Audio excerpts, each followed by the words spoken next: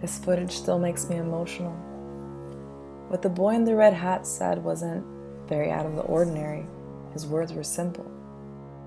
In order to properly explain to you how I felt and why I began to cry, you'd have to strip down to your underwear holding a sign that confesses to complete strangers that for the most part of your life, you struggled with self esteem issues. Miss, miss. There's a market going on here right now. Today, market. Am I standing in the way?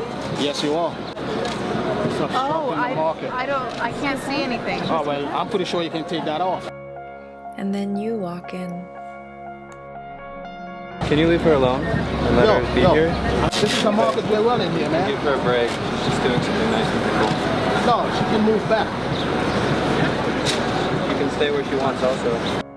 I didn't cry because I was sad.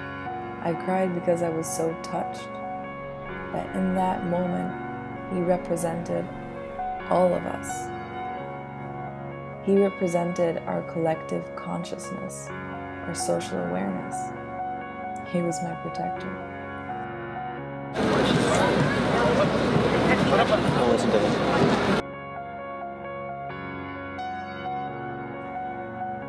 Please help me share this video.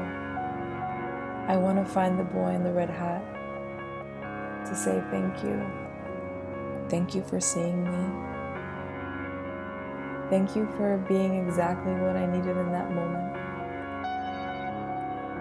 Thank you for caring for me.